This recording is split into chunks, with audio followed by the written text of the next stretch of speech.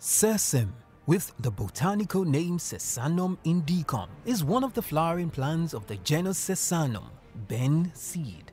It grows in pods and is mostly cultivated for its edible seeds. Its drought tolerance yields well in relatively poor climatic condition. Sesame seed is small and flat and has the shape of melon seed. It comes in different shades of color such as light yellow, light brown, white, black, cream, and more. The main producing states are Benue, Nasarawa, and Jigawa states. Others include Yobe, Gombe, Kano, Plateau, Katsina, Kogi state.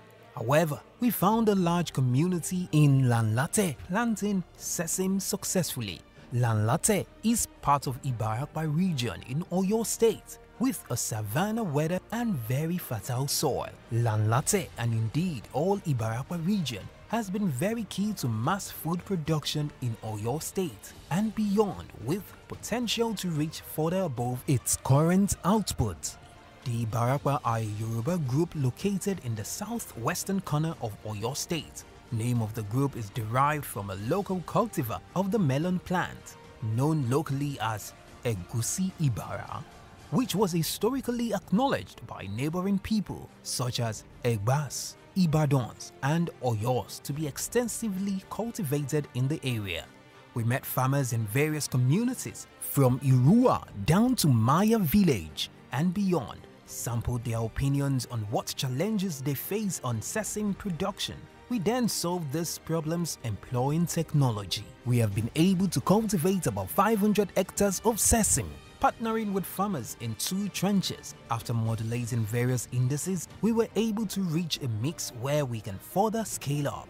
Farmers were poor and jobs were few since they could not do more than few plots at a time due to funding issues, access to machineries and improved seeds. During first tranche, we were able to employ about 400 farmers for the 6-month period of production.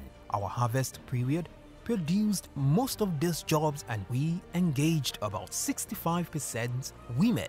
Entrance of Groupfarma has significantly raised the GDP of the community tremendously as about 600 jobs has been created along sesame seed value chain alone. Farmers, tractors, operators, surveyors, laborers, planters, harvesters, bagging laborers, drivers, supervisors, guards, etc.